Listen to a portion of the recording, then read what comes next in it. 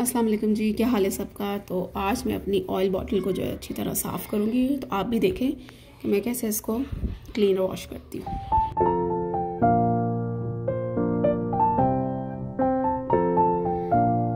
इसके लिए हमें चाहिए दो टेबल स्पून चावल के, दो टेबल स्पून सिरके के और दो ही टेबल स्पून पानी के।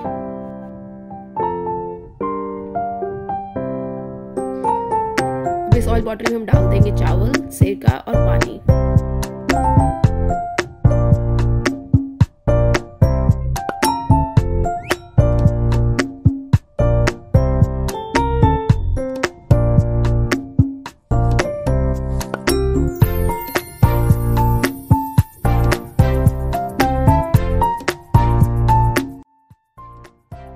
अब इसमें मैं डालूँगी डिश सोप और पानी।